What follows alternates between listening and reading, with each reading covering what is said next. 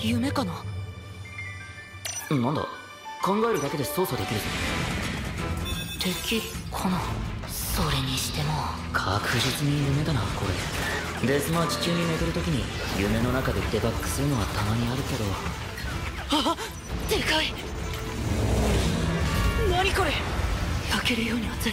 本当にここは夢の中なのか？鈴木さんもまた休日出勤っすか？まあねこの程度のことは覚悟してるよ。さあデスマーチの始まりだね。ちょっとテストしておこうかな。30時間ぶりに眠れる。今は睡眠こそジャスティス。その声の確かに聞こえた。サトゥーです働きありと言われる日本人らしく仕事漬けの日々を送っていましたがここではないどこかに逃げたいと思うほど追い詰められてはいないはずです。忙しい分やりがいも感じていたのです。